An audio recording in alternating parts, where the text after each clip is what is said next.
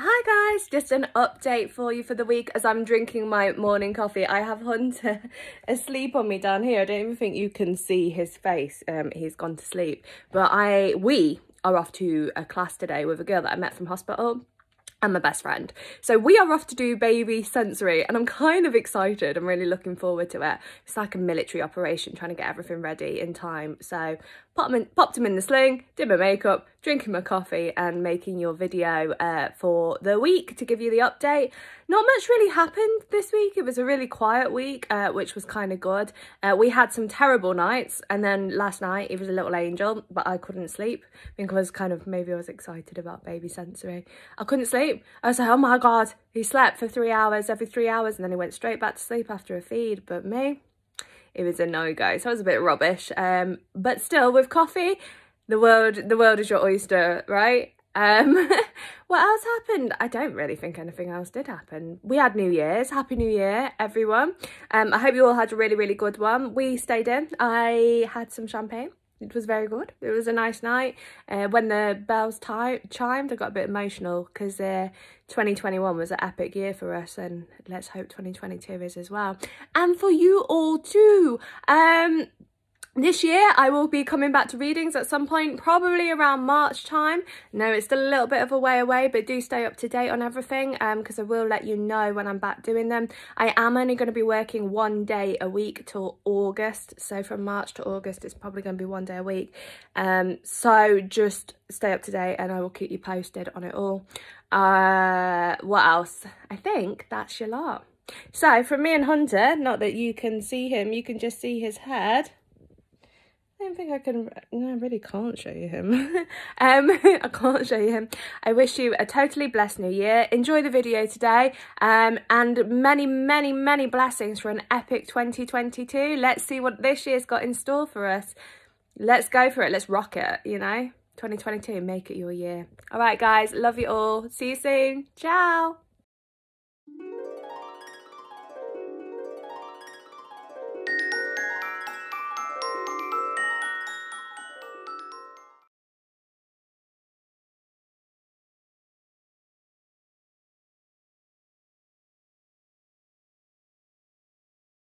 Hello my angels welcome back. I hope that you have all had a really blessed week.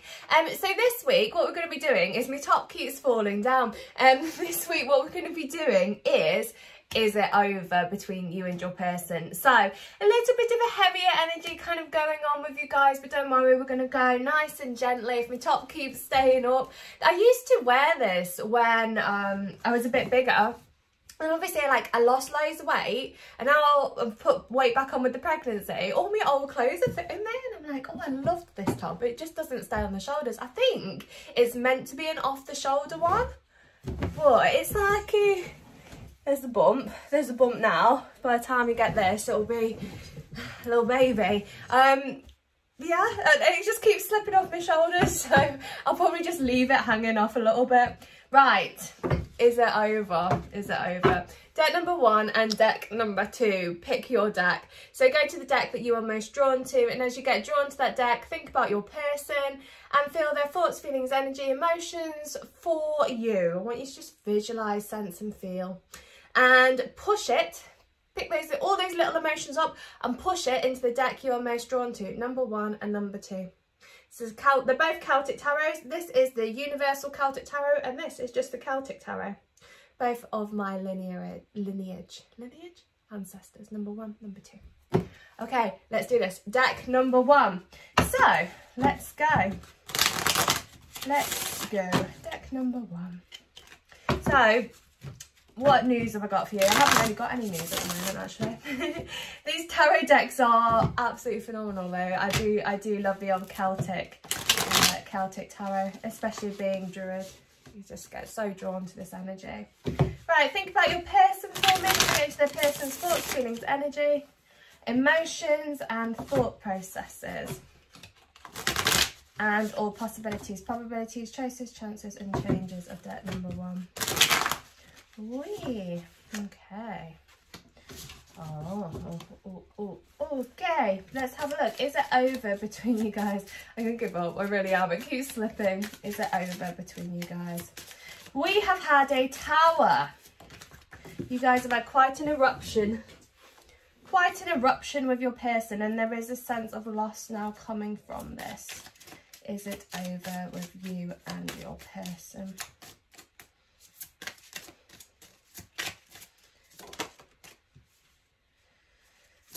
Okay, I've got a song, um, and I can't remember who sings it, and it's quite a sad song, and it's probably one I don't recommend you listen to if you're feeling a little bit low, because it's going to make you cry.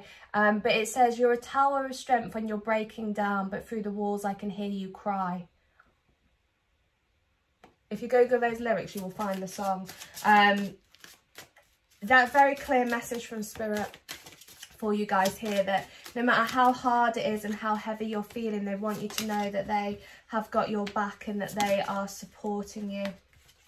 I actually feel like I'm just going to pull one more to the side over here. Is it over? So we have this kind of very heavy energy going on with you guys. This very strong sense of grieving, strong sense of loss.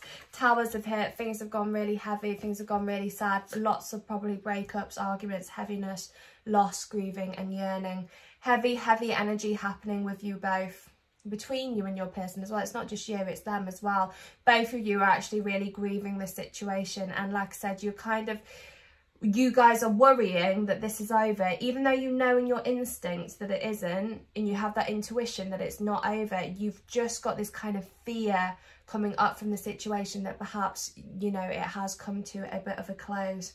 Now, your person is feeling exactly the same, and there is this sense of fear over it all. Now, it's really interesting if we look at the Tower card over here, we have this pathway still okay? So even though this lightning bolt is hit and it's kind of crumbling down around you you still have a pathway of moving this connection forward.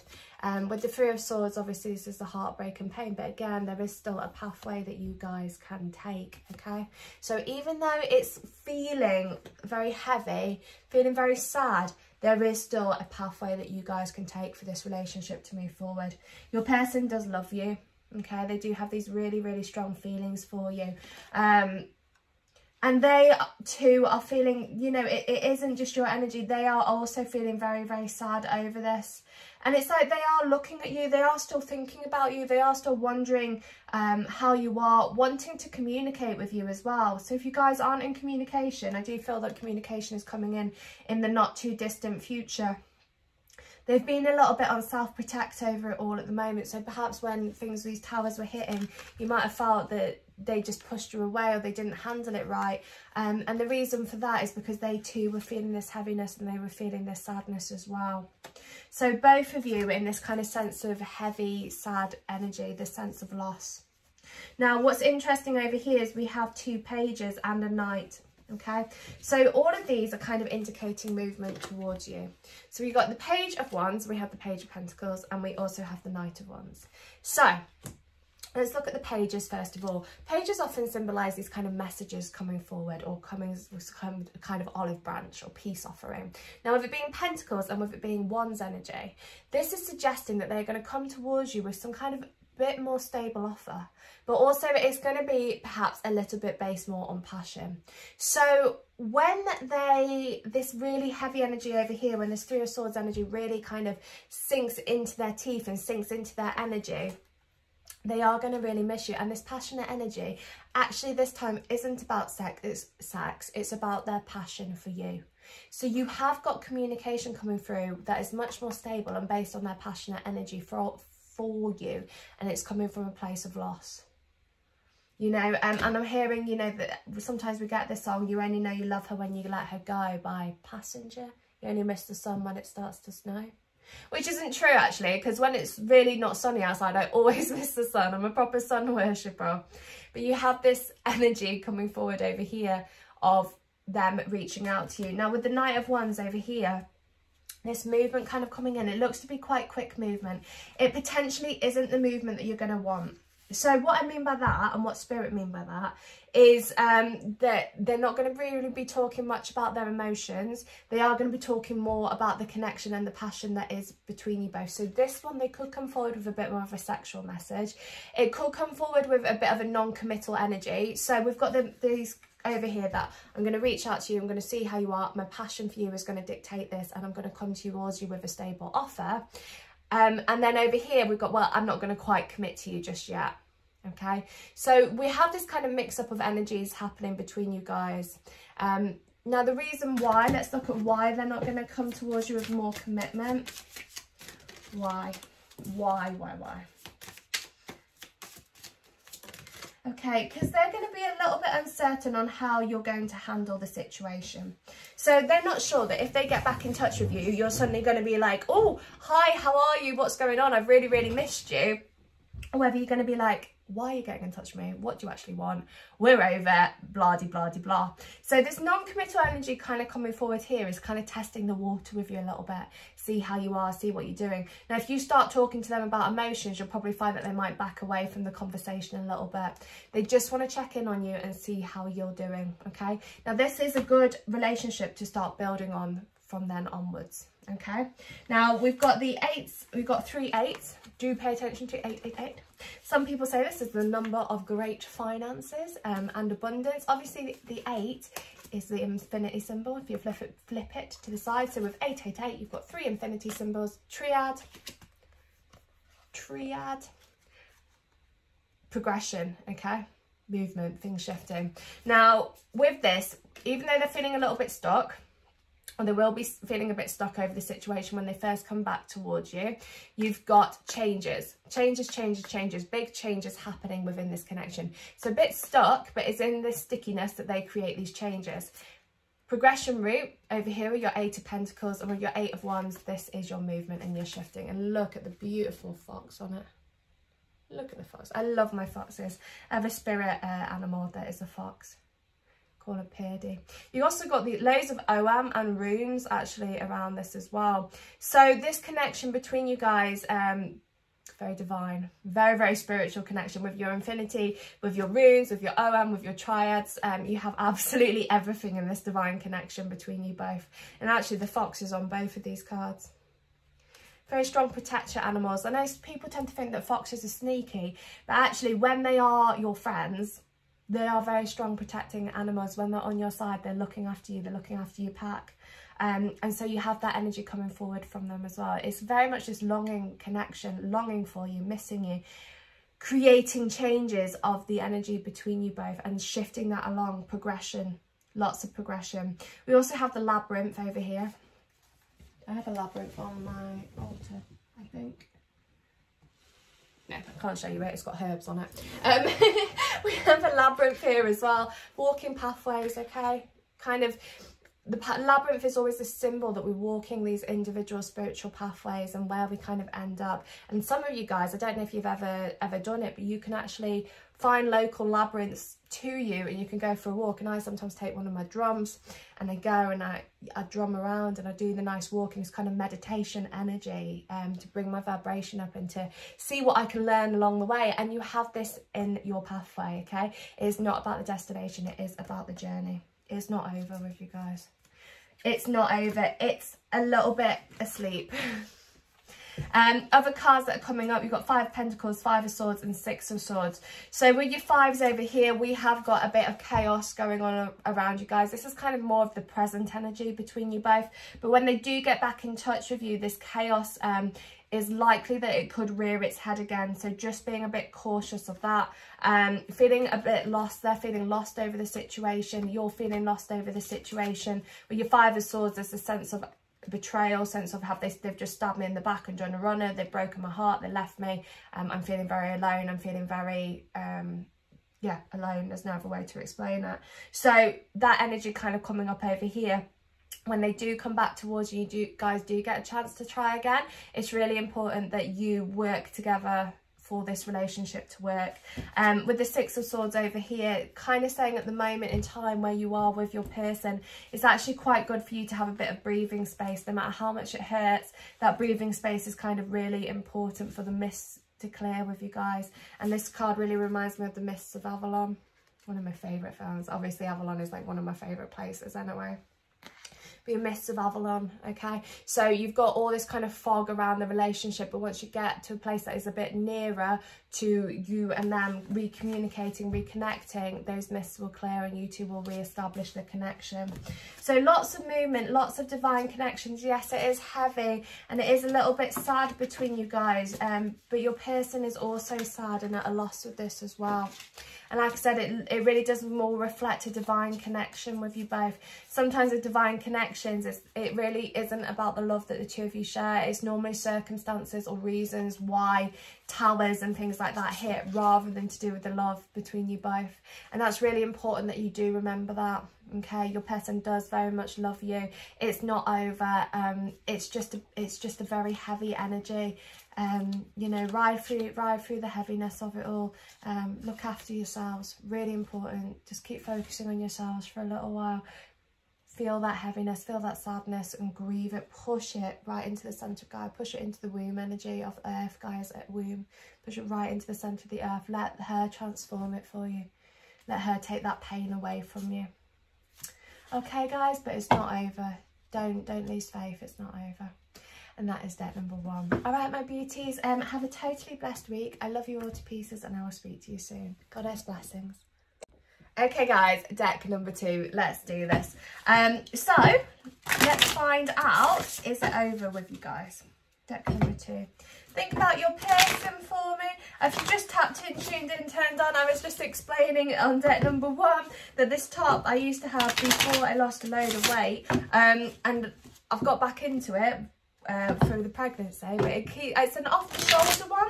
They keep slipping down. it is meant to be off the shoulder, um, but I think I prefer it on the shoulder actually, to be honest. But if it looks like I'm kind of undressing myself, it's not on purpose. It's just because the top keeps slipping. Right, think about your person for me. Can we get into your person's thoughts, feelings, energy, emotions, and thought processes? Okay, as I'm going into your person's energy, I'm getting... Um, Gwen Stefani, it wasn't Gwen Stefani, it was no doubt, it was Gwen Stefani, but it was also no doubt uh, underneath it all. You really love me underneath it all.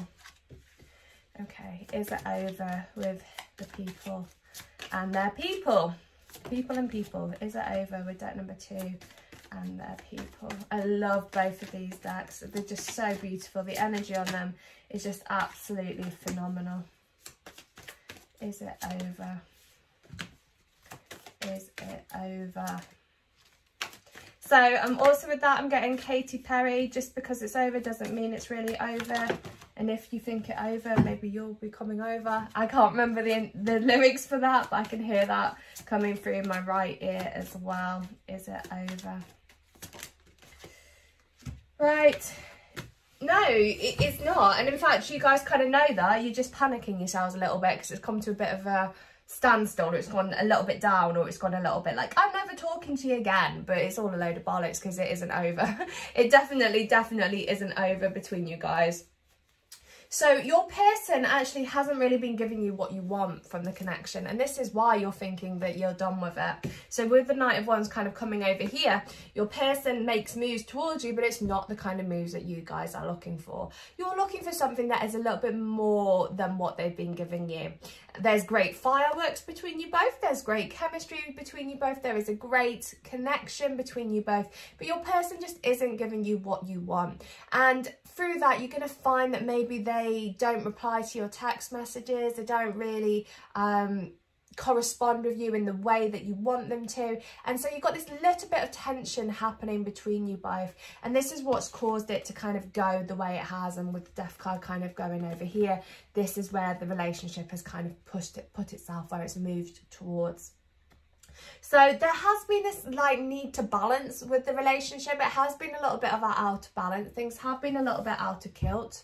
Um, potentially circumstances over here dictating why they can't commit to you. Um, those circumstances you will know about. So that could be that they're with someone else or kids or just awkwardness. Um, there is a reason, okay, but you will know for that. Um, and if there isn't a reason, then it is just kind of coming down towards them not giving you that commitment that you want. And I will look at that in some, some separate cards. So the need for balance kind of coming up with this connection. Let's have a look why they haven't committed to you. Why haven't they committed? okay? Because they're scared of love. We have this love energy coming forward. This person does love you. Very, very strong feelings of love going on uh, with you both, but they're quite frightened they're frightened. And we have this helix energy coming up the top, as we know. Always talked about the helix, the more divine connections, how you wave in and out of each other's life. We also have the crow symbolising the Morrigan goddess, and with death over here, definitely this transformation happening within this connection. Your person has been a little bit scared of transforming their life. So where they have been, they're a sucker for change. They don't like changing. They don't like creating changes and they don't like making choices and decisions, which means that they are potentially feeling backed into a corner or pushed into a corner. They don't like it.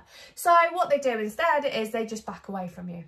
And it gets to that point where you get really frustrated, not surprisingly, with them. And you're thinking, well, you know, why, why aren't you moving things forward with me? What's going on? Have I done something wrong?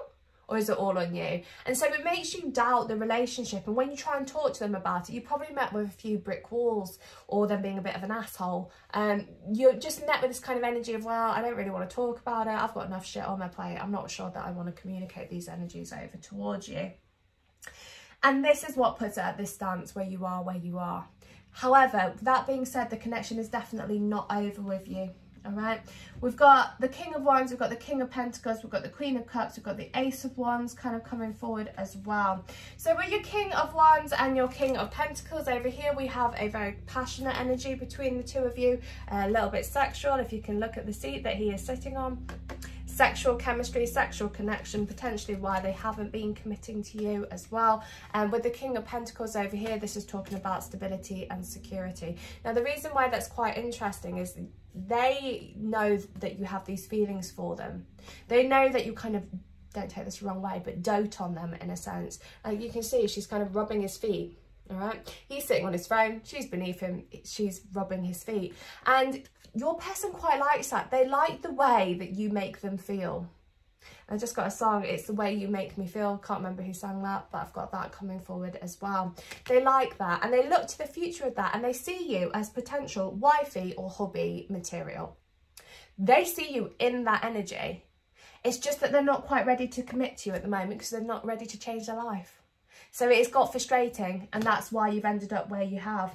Now with your Ace of Wands and your Queen of Cups over here, their emotions for you very strong, open communication coming forward, passionate new beginning. Cauldron over here, again, cauldron of transformation. This relationship can transform between you guys and you can get what you want from it. Absolutely. Uh, with the sun as well, your happy endings, happy outcomes coming forward over here. Ancestral knowledge as well. Spirit are saying lots of energy between you guys from past lives, from this life, from past lives. Really bringing the connection of the two of you strongly together. Also a sense of innocence going on over here. Your love is a pure, pure essence. Pure essence of love. Now, that transformation can happen with you. That transformation is likely to happen with you. But with the Seven of Wands over here, we have this little bit of jealousy and conflict coming up. Okay. So at the moment, you've got fed up. It's kind of come to a bit of a stalemate. Nothing really happening. You probably decided to take a step back. Your person's going to transform that connection with you and you've got this potential for a future and it will work out between you guys. However, history can repeat itself and it is something that you need to be aware of with this seven of wands energy over here. So if there's kind of been issues of trust or disharmony or discord um, I like that word discord, Spirit just said it really clearly. There is a need for forgiveness, okay? With the white rose on here symbolising forgiveness, there is a need for forgiveness with this connection as well. So it can move forward in the right direction, but this forgiveness is all about stuff that's happened between you both in the past, all right? And again, it's all stuff that you know of. It's these kind of flippant emotions. It's this pain. It's this, um, I said this and I said that and you did this and you did that. And you have that pain that kind of comes from it. And that's what causes this conflict and tension. So when you can work it out, which you will do, you just need to be fully aware of this, that this need for forgiveness has to happen between you guys. Because your person, they just haven't handled the situation very, very well. Can you tell me about this need for forgiveness? Fears. Okay, lots of fears coming up with you guys. Lots of worries and doubts and concerns over it all. The love between the two of you is really strong. And when you know, people think love and hate are total opposites. It's actually, that's a misconception. Love and fear are total opposites. total total opposites love and fear so when you have these very strong emotions which you and your person do have for each other you also have these senses of fears and you might find that at night time you're overthinking over dwelling thinking about stuff that's happened with you guys in the past this very strong pain kind of coming from the connection with you both and it's coming from these fears okay so forgiveness talking things through really important i would have a look at doing some forgiveness meditations if you can. It looks like you're probably going to have to say your piece first and foremost before you can feel the need to forgive them, which is totally fine. Totally get that. Um, but you will have the opportunity to say your piece with them. You will have your opportunity to voice your opinion on how they've made you feel. Um, and you will have to listen to them in return because obviously it takes two hands to clap. You're going to have to listen to them in return and listen to how perhaps you made them feel as well. So that communication has to happen with you guys openly. All right? Um it can work out it can work out. With the sun kind of coming here we know that this is a very strong connection and it has very happy endings for you both. So you've just got to keep progressing and moving forward. Love heart emotions passionate new beginnings it's all there for you it's just that the relationship has to go through this period of transformation so even if it's come to a bit of a close at the moment it's come to the close so that the transformation can occur with you guys and you can get what you want how beautiful is that? So no, it's not over. I actually really like deck number two. It's a good reading. It's a really positive reading. Um, it just needs that period of transformation. Okay, angels, that is deck number two. So have a totally blessed week. I love you all to pieces and I will speak to you soon. Ciao, my angels.